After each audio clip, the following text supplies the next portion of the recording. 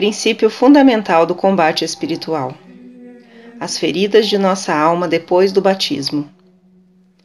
A aquisição da santidade, necessária à salvação de nossas almas, não é coisa simples.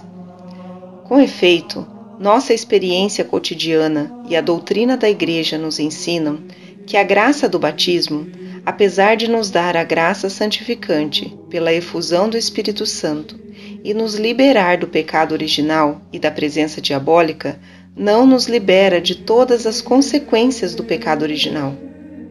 Essas consequências explicam por que nossa vida espiritual assemelha-se a um combate espiritual que dura toda a nossa vida aqui embaixo.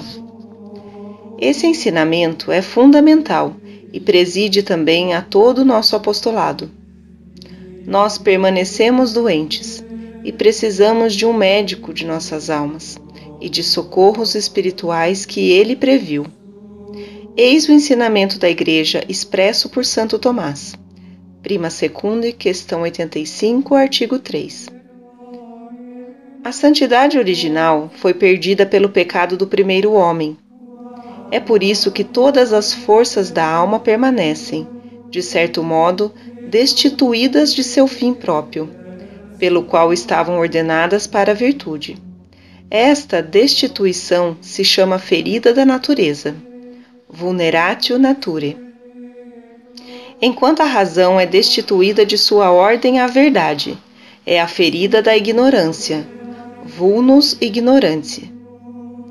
Enquanto a vontade é destituída de sua ordem ao bem, é a ferida da malícia, vulnus malicia.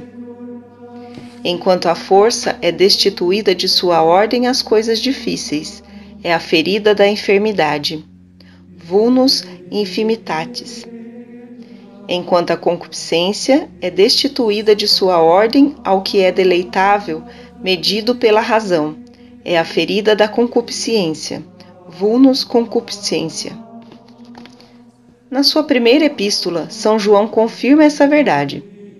Porque tudo o que há no mundo é concupiscência da carne e concupiscência dos olhos e soberba da vida. 1 João 2,16 Essas quatro feridas tocam as quatro virtudes cardeais e assim provocam em nós uma desordem contínua a mais desastrosa parece ser aquela da ignorância ou da cegueira, isto é, o desconhecimento de Deus e de nosso Senhor Jesus Cristo, pois é nesse conhecimento que reside a vida eterna. Ora, a vida eterna é esta: que te conheçam a ti como um só Deus verdadeiro e a Jesus Cristo que enviastes. João 17, 3. Com efeito, como dar a Deus o amor e o culto que lhe são devidos, se nós permanecermos na cegueira quanto a Ele?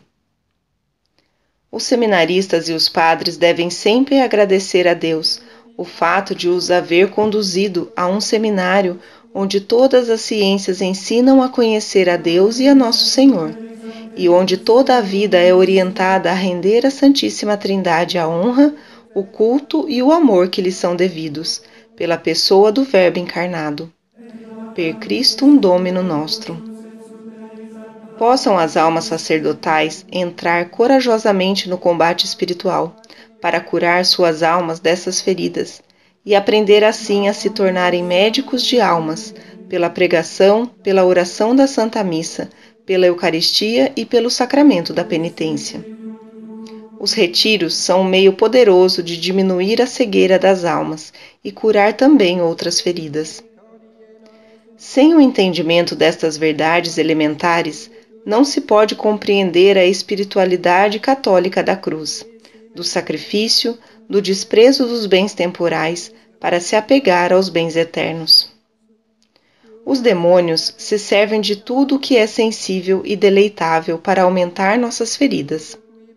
O que aconteceu a Eva continua a ser atual. Com a palavra do demônio, Eva viu que o fruto era deleitável. Pulcrum viso ex deleitabile.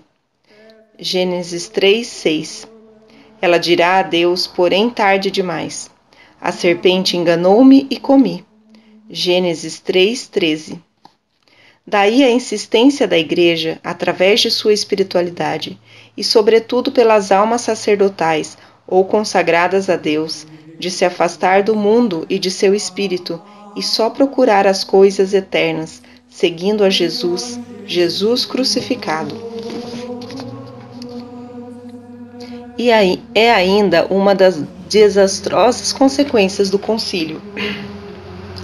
Procurar destruir esta espiritualidade tradicional e católica da renúncia, da cruz, do desprezo das coisas temporais, do convite para levar a sua cruz seguindo nosso Senhor, para procurar uma justiça social baseada sobre a vontade e o desejo dos bens deste mundo, lançando as populações nas lutas fraticidas que multiplicam os pobres, quando é precisamente a verdadeira espiritualidade que mudará os corações e orientará para uma melhor justiça social. Este mau exemplo do concílio, espírito do mundo, invadiu o universo sacerdotal e religioso e conseguiu uma destruição sem precedentes do sacerdócio e da vida religiosa. É o grande sucesso se Satanás ter operado por homens da Igreja a destruição que nenhuma perseguição havia conseguido antes. O padre recebeu então o poder de aplicar os méritos da cruz e do sangue de Jesus às almas que confessam seus pecados com contrição e que cumprem uma penitência pelos pecados que lhe foram perdoados. O exercício frutuoso deste ministério exige do padre numerosas qualidades o conhecimento da lei divina e das leis da Igreja, para julgar a gravidade do pecado que é confessado, a prudência, a discrição, o conselho e a caridade misericordiosa, a exemplo de nosso Senhor, a fim de levar à alma enferma os socorros apropriados. As almas geralmente apreciam mais uma doce firmeza do que um laxismo liberal. Elas desejam se curar, mesmo se esse desejo não é explícito. Sendo a contrição essencial na recepção do sacramento, é sempre útil insistir sobre esta disposição e sobre o firme propósito de emenda. Para ser bem eficaz, a contrição deve ser interior e habitual. Este instrumento profundo de arrependimento do pecado, se persiste, põe a alma ao abrigo do pecado a mantém na humildade, na desconfiança dela mesma, na vigilância contínua. É o conselho renovado constantemente por Nosso Senhor. Vigilate. A satisfação se cumpre, sem dúvida, pela oração ou pela penitência dada pelo confessor, mas ela também deve ser contínua na oração cotidiana, nos sacrifícios e privações, o jejum e a esmola. É por ocasião da satisfação que se manifesta com toda a eficácia a realidade do corpo místico, a propósito das indulgências.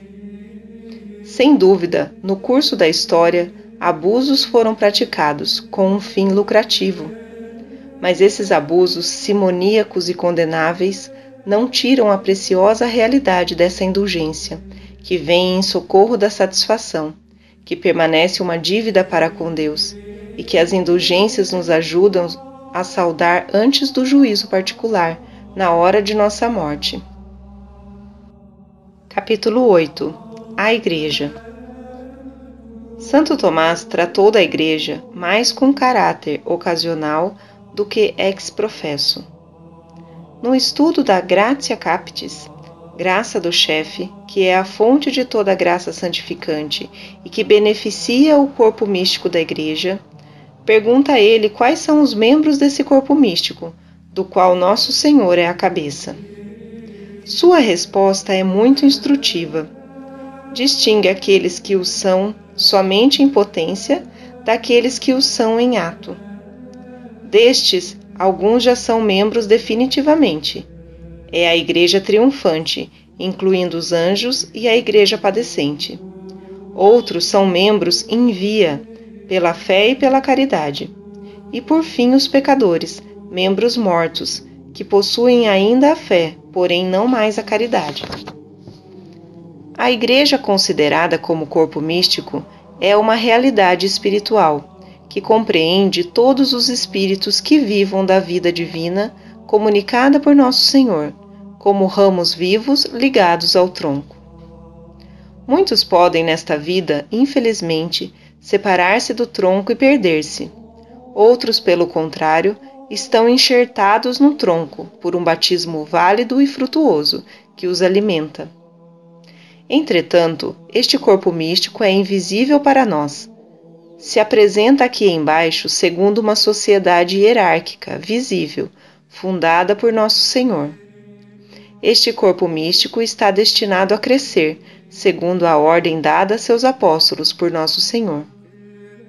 Ide, ensinai a todas as nações, batizando-os em nome do Pai, do Filho e do Espírito Santo. Aquele que crer será salvo, aquele que não crer será condenado. O objetivo final, a salvação, é primeiro ligado à fé. Toda a hierarquia instituída por nosso Senhor está a serviço da fé que permitirá ao fiel se alimentar nas fontes da caridade, do Espírito Santo e de toda a sua graça. Toda a história da Igreja primitiva constitui uma ilustração bem instrutiva da aplicação rigorosa das ordens de Nosso Senhor. Com a efusão do Espírito Santo em Pentecostes, nasce na sua vitalidade a Igreja, que vai, sob a ordem de Nosso Senhor, instituir para os batizados uma liturgia sacramental, compreendendo a oração, a pregação, o ofício divino, a celebração dos mistérios da cruz e da Eucaristia, que multiplicará rapidamente os bispos, os padres e outras ordens, para a multiplicação e santificação daqueles que creem. Do Israel do Antigo Testamento nasce o novo Israel do Novo Testamento, do qual o Verbo encarnado é a cabeça conduzindo e formando o seu povo através desse deserto, para levá-lo à terra prometida, que não é outra coisa que a própria Santíssima Trindade. Assim como o Israel do Antigo Testamento teve uma história bastante perturbada por causa das contínuas infidelidades em relação a Deus, muitas vezes obras de seus chefes e de seus levitas. Assim, a igreja militante nesse mundo conhece sem cessar períodos de provação por causa da infidelidade de seus clérigos, levados por seus compromissos com o mundo. Quanto mais do alto vêm os escândalos, mais desastres provocam. Certamente a Igreja guarda nela mesma toda a sua santidade e suas fontes de santificação. Mas a ocupação de suas instituições por papas infiéis e por bispos apóstatas arruína a fé dos clérigos e dos fiéis, esteriliza os instrumentos da graça, favorece todos os assaltos do inferno, que parece triunfar. Essa apostasia faz de seus membros adúlteros, cismáticos, em oposição a toda a tradição, em ruptura com o passar da Igreja e a Igreja de hoje, na medida em que ela permanece fiel à Igreja de Nosso Senhor. Tudo que permanece fiel à verdadeira Igreja é objeto de perseguições selvagens e contínuas. Mas nós não somos os primeiros perseguidos por falsos irmãos, por terem guardado a fé e a tradição. O martirilógio nos ensina todos os dias. Mas a Santa Igreja é ultrajada. Mais devemos apegar-nos a ela de corpo e alma mais devemos nos esforçar para defendê-la e assegurar sua continuidade e defesa de seus tesouros de santidade, para reconstruir a cristandade. Capítulo 9 A Virgem Maria Santo Tomás evoca os grandes privilégios da Virgem Maria por ocasião da missão do Verbo nesse mundo, através de sua encarnação. É tal o lugar de Maria na realização da obra de salvação dos homens pelo Verbo encarnado que ela merece ser lembrada de maneira toda particular. Se Nossa Senhora, por seu fiat, tornou-se miraculosamente a Mãe de Deus, a Mãe do Salvador, ela se torna, pelo mesmo fato, Mãe de seu corpo místico, quer dizer, de todos aqueles que viverão da vida de Jesus aqui embaixo e na eternidade a rainha dos anjos e a inimiga definitiva dos demônios. Nós nos tornamos filhos de Deus pelo batismo e nos alimentamos na Eucaristia daquele que recebeu dela seu corpo e seu sangue. Ela é realmente nossa mãe espiritual. Esta maternidade divina lhe proporcionou privilégios únicos desde o início, com sua Imaculada Conceição, com a plenitude da graça desde o primeiro instante de sua existência. Ela é a única criatura humana isenta das consequências do pecado original. Outro privilégio inaudito ela é a mãe de Jesus e permanece virgem antes, durante e após o nascimento dele. Nada é impossível a Deus, como lhe disse o anjo Gabriel. O menino Jesus saiu do seio da Virgem, Janius Clausis, sem destruir seu ímen. Ela não sofreu as dores da maternidade. Quantos erros nos catecismos modernos sobre este assunto!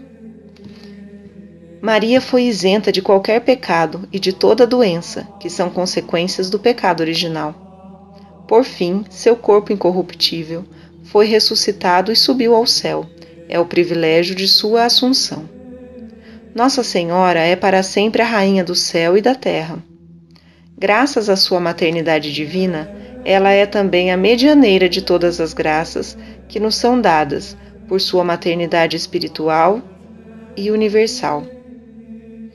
Se Jesus é a cabeça do corpo místico, Maria Santíssima pode ser comparada ao pescoço, como dizem os padres da Igreja, que une a cabeça aos membros. Sendo Maria a mãe do sacerdote eterno, exerce uma maternidade particular diante de todos aqueles que participam do sacerdócio de Jesus. Digne-se a Virgem Maria formar em nós, padres, a imagem de seu divino Filho que a devoção a Nossa Senhora tenha um lugar de honra em todas as partes da fraternidade e em todas as orações de todos os seus membros. Maria nos guardará na fé católica. Ela não é liberal, nem modernista, nem ecumênica, e é alérgica a todos os erros, e com mais forte razão às heresias e à apostasia. Capítulo 10 Os Novíssimos Com a Assunção da Virgem Maria, ultrapassamos os limites que separam o mundo terrestre do mundo celeste. Certamente, depois que a misericórdia divina veio se manifestar entre nós na pessoa do Verbo encarnado, inumeráveis graças unem estes dois mundos. Entretanto, sabemos que em cada um de nós, apesar das graças de todos os sacramentos, permanece a consequência do pecado original, da qual ninguém escapa a morte. Mas não é verdade para, para nós cristãos que a morte de nosso Senhor suavizou o rigor desta pena, deste castigo? Com ele morreremos, com ele nós vivemos, também com ele viveremos e ressuscitaremos. Toda a vida da fé e da graça ensina a nos direcionar para as coisas celestes. Terrestre a continere et amare celestial. Quantas vezes as orações litúrgicas nos repetem: desprezar as realidades deste mundo e amar as realidades celestes. São Paulo nos dá a razão. As primeiras são passageiras, as últimas são eternas. A morte nos faz então passar deste mundo efêmero ao mundo espiritual, pois mesmo os corpos ressuscitados serão espiritualizados. Seminatur corpus animale, surget corpus spirituale. É semeado um corpo animal, ressuscitará um corpo espiritual. 1 Coríntios 15, 44. Por isso, os novíssimos devem nos interessar ao máximo, principalmente porque nossas ações aqui embaixo preparam essa futura eternidade. Viver na indiferença ou inconsciente dos fins últimos é insensato. O motivo fundamental da encarnação e da redenção é o retorno a Deus por Jesus Cristo, e é o essencial da Suma Teológica de Santo Tomás, porque o motivo principal de nossa razão de existir é ser de Deus para sempre. Daí a grande necessidade de, em nossas pregações, voltarmos a estes fins últimos. Os retiros de Santo Inácio e todos os outros retiros não têm outro fim: salvar nossas almas, santificando-as por Jesus Cristo. Todos os escritos inspirados do Novo Testamento não têm outro fim senão de nos tornar atentos à obtenção da vida eterna e nos fazer evitar a condenação. Toda a liturgia da Igreja nos envolve, nos acompanha, nos alimenta para conseguir o fim essencial. Todo o seu espírito missionário é orientado para o envio dos pastores.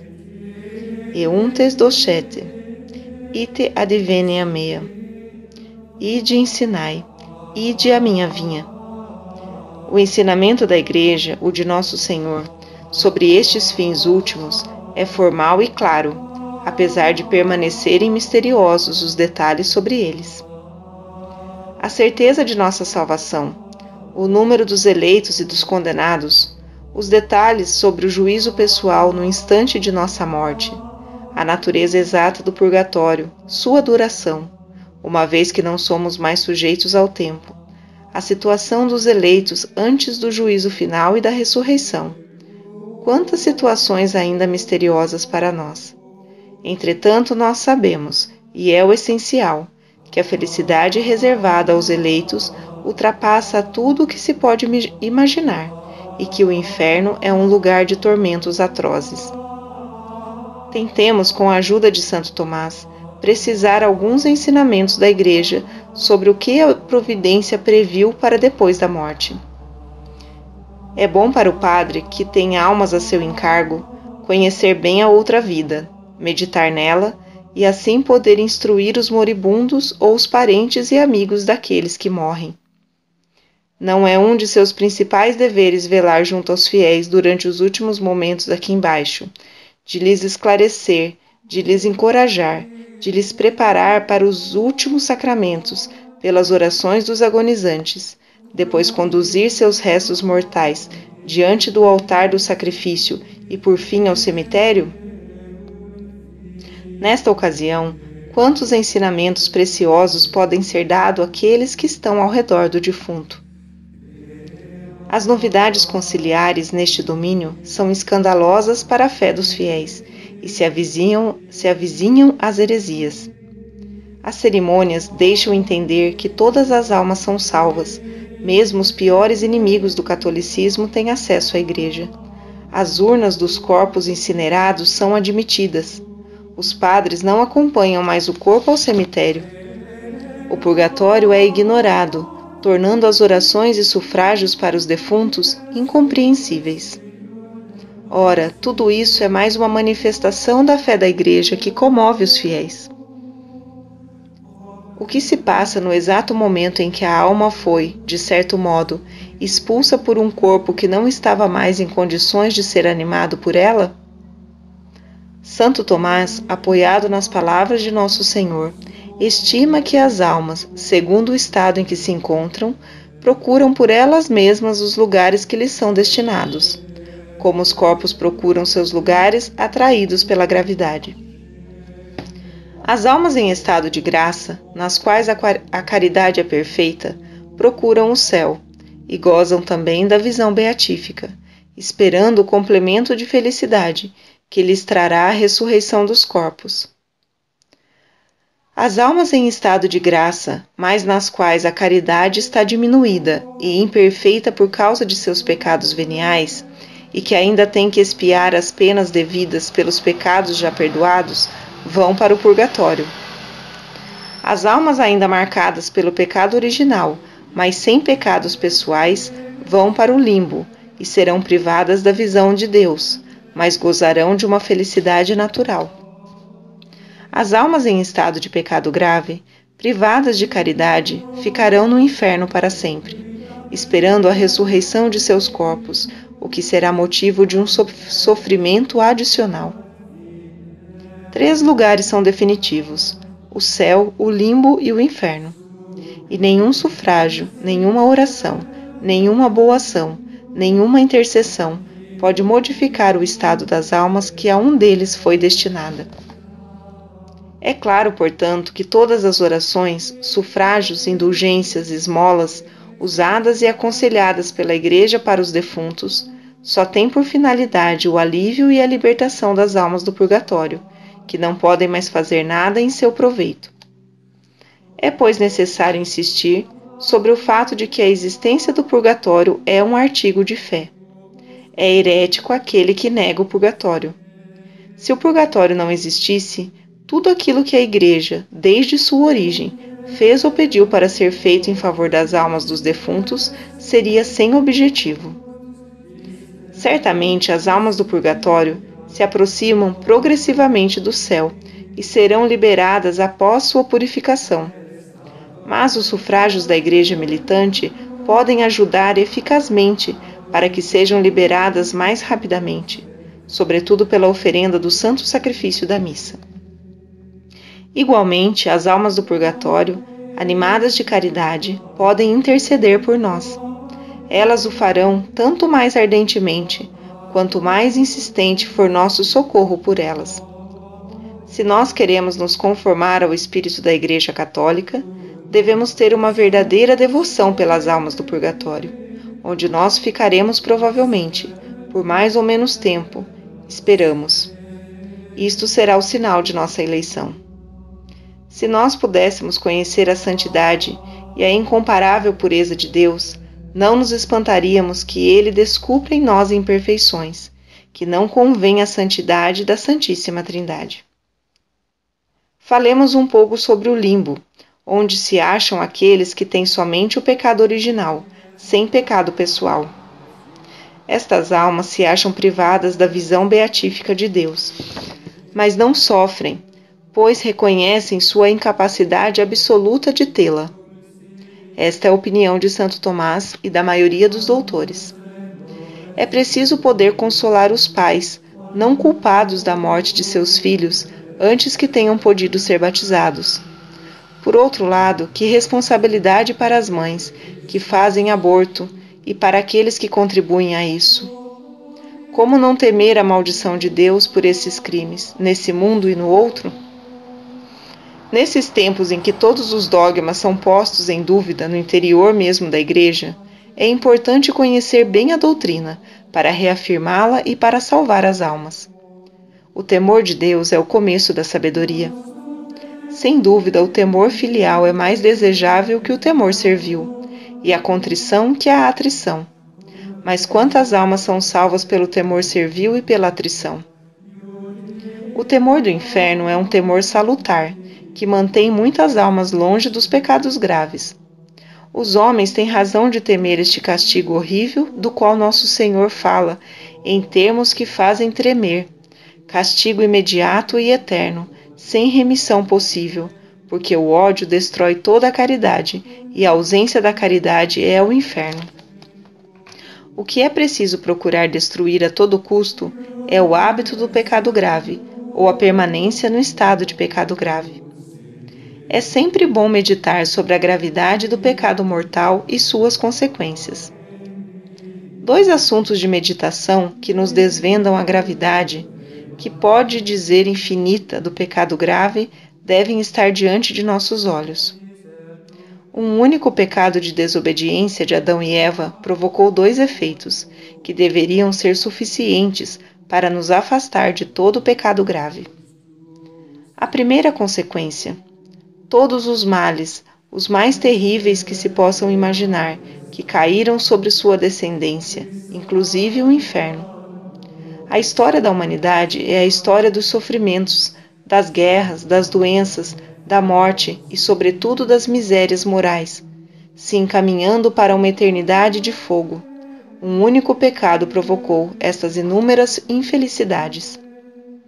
A segunda consequência é a morte de Deus na cruz morte julgada pelo próprio Deus como o único meio conveniente para apagar as consequências do pecado e para fazer reviver espiritualmente e um dia corporalmente aqueles que crerem nele e receberem dele a graça da vida divina, prelúdio da vida eterna. O que foi esta paixão e esta morte? Perguntemos a Nossa Senhora das Dores. que ela nos ajude a medir a dor e a caridade de Deus crucificado, no corpo que ele se dignou receber dela. Um único pecado provocou a paixão e a crucificação do Verbo encarnado. Possamos nós, por estas considerações, evitar todo pecado grave, ajudar nossos fiéis a evitá-los igualmente e, em caso de queda, usar a tábua de salvação, que é o sacramento da penitência. Há também nossa Santa Missa, sacrifício da cruz, elevada como sinal de salvação e de vitória contra Satanás, contra o pecado, contra a morte e contra o mundo. Mors mortua tunc est, ave crux espe unica, in hoc signo vinces. Não devemos evitar em falar do inferno, como nosso Senhor ele mesmo fez em muitas circunstâncias. Ele insistiu bastante sobre o fogo do inferno, as dores persistentes, sua duração eterna. Nós devemos fazer eco a estas palavras para salvar as almas dos nossos fiéis. Todos os dias nós oferecemos o santo sacrifício nesta intenção: livrar a família cristã da danação eterna. Ab eterna Damacione Eripe. E agora deveríamos meditar sobre a pátria celeste, onde se acham as almas santificadas e purificadas para desfrutarem finalmente da felicidade eterna. Entretanto, como Santo Tomás, antes de contemplar a morada da Trindade Santa, digamos algumas palavras sobre a recompensa e o juízo universal. Nosso Senhor nos ensina que este mundo terá seu fim logo que Deus, na sua sabedoria toda poderosa, tiver decidido que o número dos eleitos está completo. Sinais precursores anunciarão este fim, em particular a vinda do Anticristo, mas ninguém sabe nem o dia nem a hora. Deus reservou o segredo para si. Entretanto, a Sagrada Escritura e a tradição nos ensinam que esse fim virá subitamente, num piscar de olhos então se desenrolarão os acontecimentos preditos, e todo o poder de Deus e de nosso Senhor Jesus Cristo se manifestará pela purificação imediata das almas do purgatório, pela morte e purificação imediata das almas que haverá para serem purificadas e que serão testemunhas de todos esses acontecimentos. Ao som das trombetas dos anjos, todos os corpos ressuscitarão, para o complemento da glória dos eleitos e o aumento da, das penas dos danados. Depois nosso Senhor aparecerá na sua glória para efetuar o julgamento final, que porá um eterno um termo definitivo à história da humanidade, glorificando sua esposa mística, a Igreja, e todos os membros de seu corpo místico, introduzindo-os após si no seio da Trindade bem-aventurada para toda a eternidade.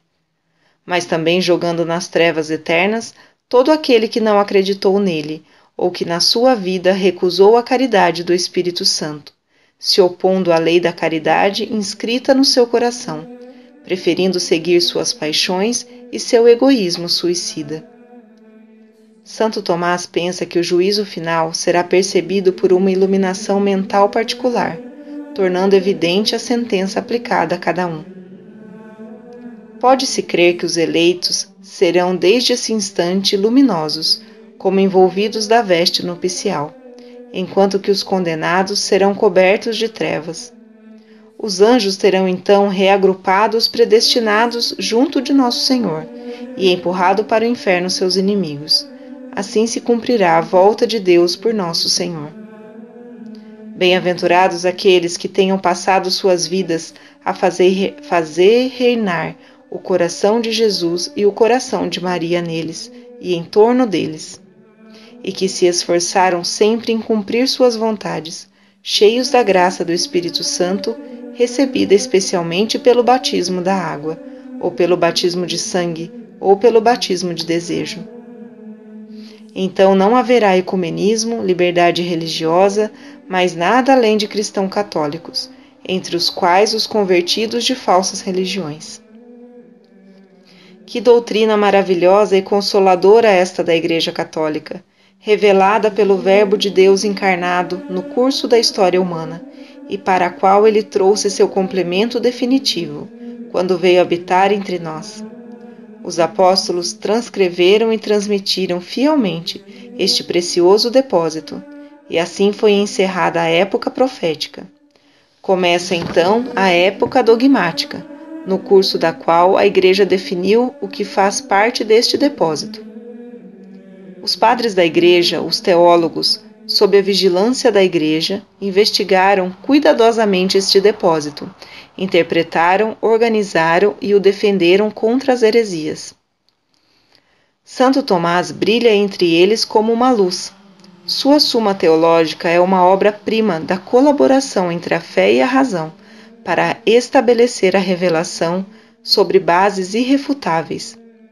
Ela mostra a evidência de que as duas fontes são de origem divina e então podem se confirmar mutuamente. Mas é a fé a fonte mais segura da ciência de Deus e das coisas divinas. Ela é a regra de ouro da sabedoria. A Suma Teológica poderia se resumir assim: vir de Deus para retornar a Deus por meio de Deus. Tal é o destino humano. Que maravilha, que programa! O fato deste programa estar baseado na escola de Santo Tomás nos coloca constantemente na admiração e contemplação dos mistérios da sabedoria, da ciência e da caridade de Deus e de sua misericórdia por suas criaturas humanas. O final deste estudo só pode ser a consideração do dom inefável que Deus fez dele mesmo e de seus eleitos pelo Verbo encarnado. Dom que ultrapassa toda a expressão e toda a descrição, como afirma São Paulo. Nem o olho viu, nem o ouvido ouviu, nem jamais passou pelo pensamento do homem o que Deus preparou para aqueles que o amam. 1 Coríntios 2, 9 Deus, Espírito puro e eterno, nos criou à sua imagem. Espíritos também, dotados de inteligência e de vontade, tendo-nos destinado a conhecê-lo, amá-lo e gozar de sua companhia eternamente.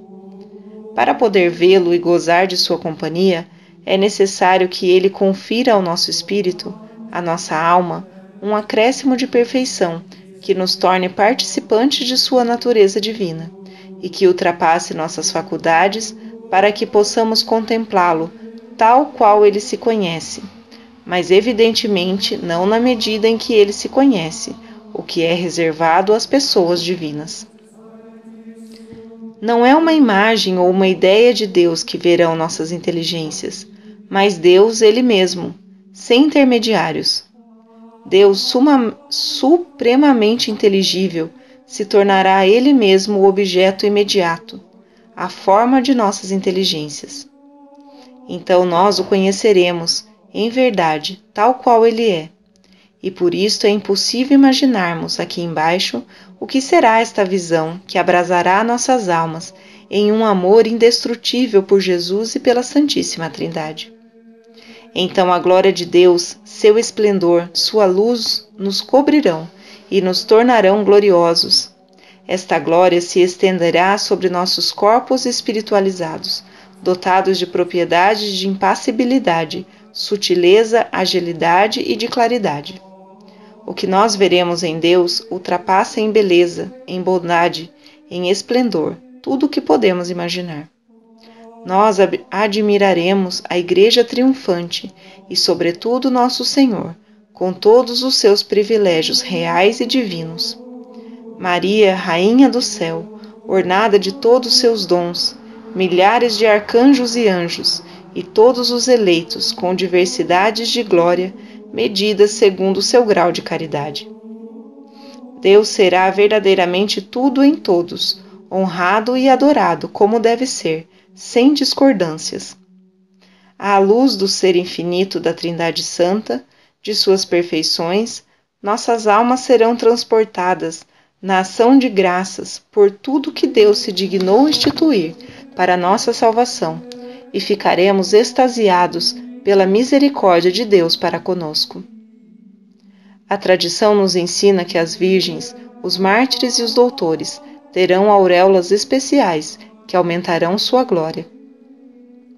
Diante destas perspectivas, que são objeto de nossa fé e a razão de nossa existência, como não exprimir nossa dor, como nosso Senhor em sua agonia no Jardim das Oliveiras, ao pensar em todas essas almas afastadas de nosso Senhor, desprezando-o pela indiferença, o esquecimento, o pecado e se dirigindo para o inferno. Nosso Senhor, na sua caridade missionária, deixou-se colocar na cruz, pois é por ela que ele queria abrir as portas da salvação e acumular os méritos capazes de salvar toda a humanidade. Ele então escolheu doze apóstolos, lhes comunicou o poder de seu sacrifício sobre seu corpo e seu sangue, fazendo-os padres de seu sacerdócio. Ele os instruiu e santificou pelo Espírito Santo, e os enviou até as extremidades da terra, para anunciar a novidade da salvação, santificando pelo batismo e os sacramentos aqueles que creram em seu nome. Seguindo os apóstolos, nós não destinamos a, destinamos a participar desse sacerdócio, ou já somos participantes. Ponhamos toda a nossa confiança naquele que nos envia, nosso Senhor Jesus Cristo crucificado, e como os apóstolos, preguemos a verdadeira doutrina da salvação em nosso Senhor e ofereçamos o sacrifício redentor. Os resultados serão aqueles dos apóstolos, Alguns creram, outros se desviaram. Nós te escutaremos uma outra vez. Alguns nos perseguem como a nosso Senhor e aos apóstolos. Eles me odeiam, eles vos odiarão. O que importa é que de nossa parte evitemos, na vida sacerdotal, tudo o que pode ser obstáculo à eficácia de nosso apostolado, especialmente o abandono da oração e da união com Deus. Guardemos a fé antes de tudo. É por ela que nosso Senhor morreu, por ter afirmado sua divindade. É por ela que morrer, morreram todos os mártires. É por ela que se santificaram todos os eleitos. Fujamos daqueles que nos fazem perdê-la ou que a diminuem. Ó Timóteo, guarda o depósito da fé, evitando as novidades profanas de palavras. Combate o bom combate da fé conquista a vida eterna. 1 Timóteo 6, 20 e 12. Ele mesmo nos escolheu, antes que o mundo fosse feito, para que sejamos santos. Notas complementares: 1. Necessidade absoluta da religião cristã católica para a salvação e para a santidade. A procura da santidade cristã em Jesus Cristo e por Jesus Cristo não é facultativa. Elege-te-nos, in ipso ante mundo constitutione, utiessemus santi.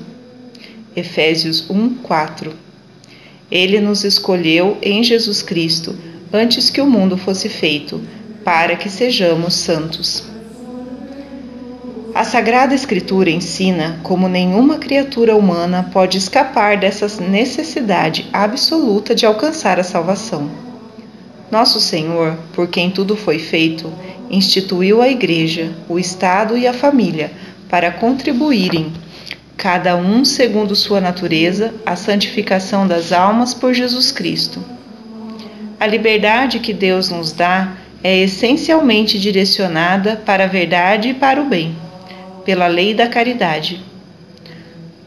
Não somos livres de amar ou de não amar a Deus, a Santíssima Trindade e ao próximo. A liberdade é correlativa à lei do amor e da caridade. Deus teve o cuidado de nos dar suas leis por seu Verbo, leis divinas, todas cheias do Espírito de caridade, do Espírito Santo. As leis da Igreja, do Estado e da família devem estar de acordo com estas leis divinas e assim, e assim vir em socorro das almas atraídas pelo erro e pelo pecado e ajudá-las a se converter ao único médico, Jesus Cristo, verdade e santidade. Liberar as almas da obediência às leis da sociedade civil, que são aplicações das leis divinas, e fazer desta liberação um direito natural é um crime de rebelião contra Deus e Nosso Senhor.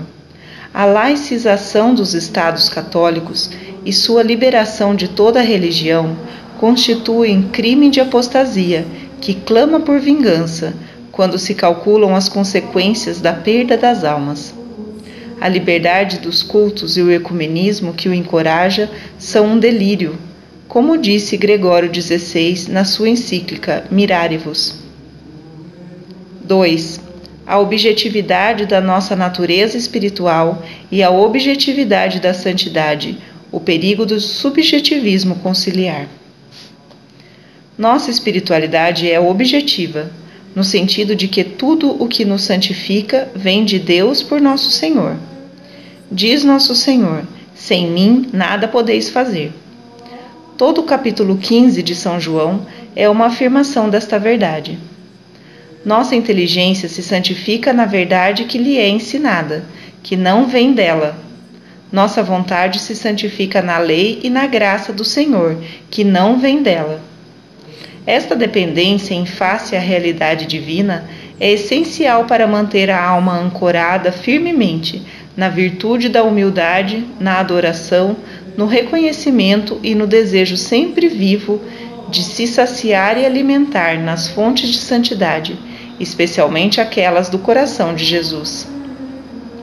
É difícil medir os desgastes espirituais ocasionados pela tendência subjetivista do concílio por seu personalismo, que se esforça erradamente em fazer abstração da finalidade da natureza humana, de sua liberdade direcionada. Assim se explica essa exaltação do homem, de seus direitos, de sua liberdade, de sua consciência. Humanismo pagão que arruína a espiritualidade católica, o espírito sacerdotal e religioso. É preciso que meditemos nestas realidades para permanecer católicos e guardar os princípios e as fontes da verdadeira santidade. Bem-aventurados os que têm fome do Magnífica e os pobres de espírito das beatitudes. Infelizes os dívides, os ricos, que são cheios de si mesmos e não têm mais necessidade de Deus nem de Jesus Cristo. Vindos de um mundo onde reina por todo lado o subjetivismo, que põe como fundamento das relações sociais a consciência individual, a liberdade de consciência, a autonomia das pessoas que justificam todos os erros e todos os vícios. Os jovens seminaristas deverão se empenhar para reencontrar o caminho da verdade e da virtude na objetividade de nossas faculdades e para reencontrar em nosso Senhor a verdade e a santidade. 3 a escolha providencial de Roma como cátedra de Pedro e os benefícios desta escolha para o corpo místico de nosso Senhor Jesus Cristo. Creio dever acrescentar algumas linhas para lembrar aos nossos padres e seminaristas o fato incontestável da influência romana sobre nossa espiritualidade, nossa liturgia e mesmo sobre nossa teologia. Não se pode negar que isto seja um fato providencial Deus, que conduz todas as coisas na sua sabedoria infinita, preparou Roma para se tornar a cátedra de Pedro e o centro da irradiação do Evangelho. Daí o adágio, de Cristo e Romano. Dom Guéranger, na sua História de, la, de mostra a importante participação que os membros das grandes famílias romanas tiveram na fundação da Igreja dando seus bens e seu sangue pela vitória do reino de Jesus Cristo. Nossa liturgia romana é disso testemunha fiel. A romanidade não é uma palavra vã. A língua latina é um exemplo importante. Ela levou a expressão da fé e do culto católico até os confins do mundo. E os, povo, e os povos convertidos eram firmes em, nessa língua, cantar sua fé, símbolo real da unidade da fé católica. Os cismas e as heresias começaram frequentemente por uma ruptura com a romanidade, ruptura com a liturgia romana, com o latim, com a teologia dos padres e dos teólogos latinos e romanos. É esta força da fé católica, enraizada na romanidade, que a maçonaria quis fazer desaparecer, ocupando os estados pontificais e encerrando a Roma Católica na cidade do Vaticano.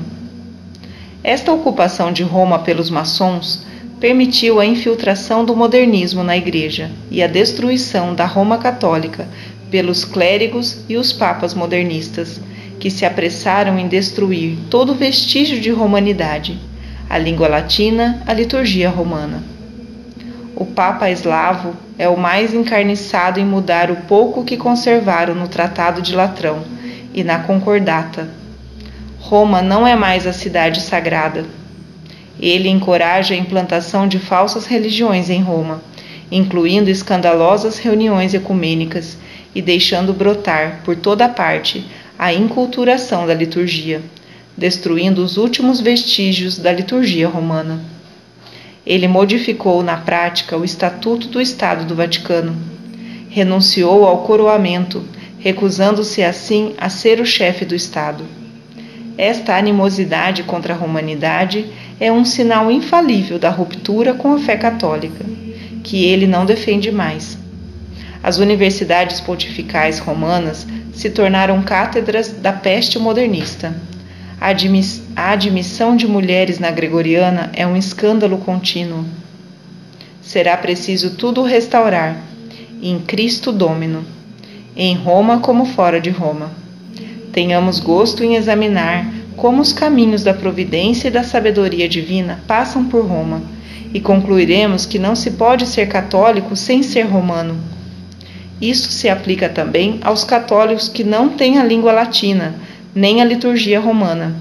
Se permanecem católicos, é porque permanecem romanos, como os maronitas, por exemplo, pelos laços com a cultura francesa católica e romana que os formou. É um erro, a propósito da cultura romana, falar em cultura ocidental. Os judeus convertidos trouxeram com eles do Oriente tudo o que era cristão, tudo o que no Antigo Testamento era uma preparação e iria servir de apoio ao cristianismo. Tudo que nosso Senhor assumiu e que o Espírito Santo inspirou os apóstolos a utilizarem. Quantas vezes as epístolas de São Paulo nos falam sobre isso? Deus quis que o cristianismo, moldado por Roma, recebesse um vigor e uma expansão excepcionais. Tudo é graça no plano divino, e nosso divino Salvador dispõe de tudo como é dito dos romanos, cum concilio et paciência, ou suavit et fortit, fortiter. Também nós devemos guardar esta tradição romana, querida por nosso Senhor, como ele quis que nós tivéssemos Maria Santíssima por mãe.